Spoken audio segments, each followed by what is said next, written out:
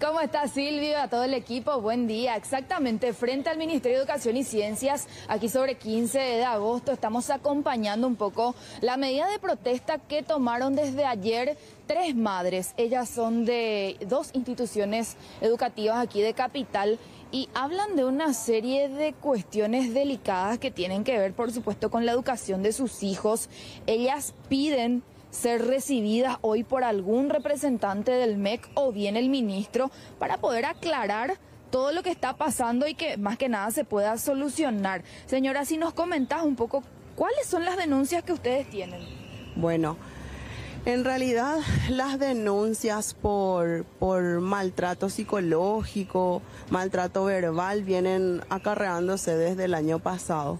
Nosotros activamos como padres el protocolo, ah, hicimos la denuncia ante la Fiscalía y ante el Juzgado de la Niñez y la Adolescencia. Varias otras cuestiones se desnudaron tras esta situación y nos dimos cuenta de que, de que son demasiados los padres y madres que están pasando por esta misma situación con sus hijos, pero nadie se anima a denunciar. ¿Por qué?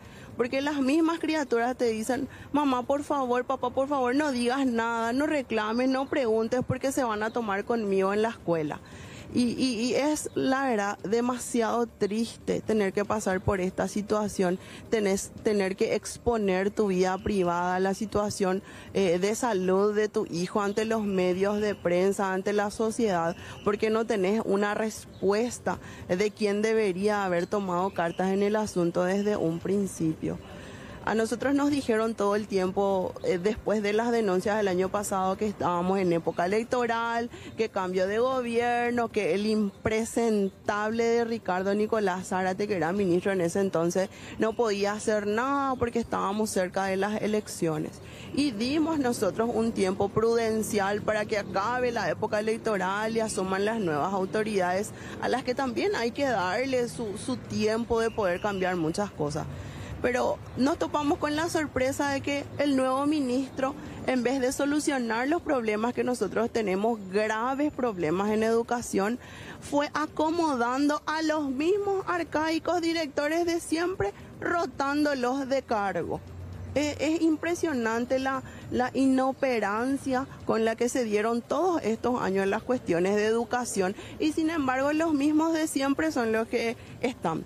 Yo estuve de reunión con, el asesor jurídico Juan Manuel Arce Leiva, eh, que es director general de asesoría jurídica, para preguntarle un poco por qué no cumplen esta resolución judicial, ya que el ministro no me recibió, hasta hoy no me recibió, y me, me disculpé con él por, por cómo me exalté al exponerle esta situación. Y se mofó en mi cara diciéndome de que hace 18 años él está en el cargo, que está en asesoría jurídica y que está acostumbrado a esta clase de denuncias. O sea que siempre pasó, o sea que hace 18 años está y hace 18 años no ha cambiado nada en la educación. ¿Y dónde lo que estamos? Si una resolución judicial no se cumple, voy a volver a decir, tengo que llamarle a Harry Potter que me venga a solucionar con su varita mágica la cuestión para respetar los derechos de nuestros hijos. ¿Qué dice nuestra resolución para que la gente entienda? Al menos em, explicando con tus palabras, ¿verdad? la última resolución lo que hace es ampliar la primera resolución. La primera resolución del 1 de marzo del 2023 dice hacer lugar a la medida cautelar eh, planteada por la madre a favor del niño MEAP. Eh, reintegrarlo a su lugar escolar eh, cumplir a cabalidad con las normas establecidas por educación inclusiva, porque acuérdate que él es un niño con discapacidad, adecuar las instalaciones, no hostigarlo, prohibición de, maltrato dentro de la escuela y dentro de la comunidad educativa. ¿Él sufría bullying, eh, señora? No, los compañeritos y los niños nunca fueron el problema. El problema siempre fue la cabeza de la institución la, que funge de encargada de despacho sin tener los estudios sin tener la capacidad de estar ahí. ¿Cuál es la institución? Escuela Básica número 221 Chaco Paraguayo. Y esa es su, eh, su denuncia en particular, pero están aquí también otras madres, entiendo que son de otras instituciones, ¿verdad? Sí, así mismo. Contando la historia de nuestros hijos, las señoras tomaron conocimiento y se acercaron a manifestar que ellas sufren la misma situación de sus hijos, pero en otro colegio. O sea, en varios colegios de capital de esa misma zona ocurre lo mismo ante la atenta mirada e inacción del MEC. Vamos a escucharlas un poco también a ellas, porque es delicado cuando estamos hablando de que las mismas cabezas de la institución supuestamente son las que no están eh, solucionando, no están acompañando es difícil también para ustedes como padres, madres en este caso. Sí, es un poco difícil realmente porque nosotros, ellos nos dicen acudan a hacer su denuncia, hacemos la denuncia, llevamos nuestras pruebas y no nos dan solución. Prácticamente hace ocho, nueve meses tenemos, así como explicó la señora, hablamos, nos entrevistamos con el señor Juan Manuel Arce, que está en asesoría legal, le llevamos videos, audios, notas, notas en la Fiscalía de Nazaret intenta desestimar la causa diciendo que no hay una figura penal, ¿verdad? Entonces, estamos viendo las medidas drásticas ya en este caso para que ellos actúen como cabeza de un ministerio y nos den la solución, porque no puede ser que nosotros tengamos que quitarle o que le llevemos a nuestros hijos a otra institución y eh, esas personas que están incumpliendo sus funciones no sean castigados o sancionados por eso. Entonces yo como madre, por ejemplo, me duele mucho que a mí me tuvieron que poner un pasacalle enfrente de la institución. Estuvo durante tres días.